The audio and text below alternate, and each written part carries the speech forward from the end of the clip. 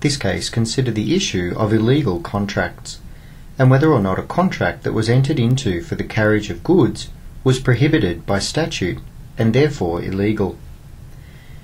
In this case, the owner of a van entered into a contract to carry a load of goods for a company, requesting them to do so. However, the company did not know that the owner of the van did not have a license to carry these goods. The van was stolen and the company brought an action against the owner of the van.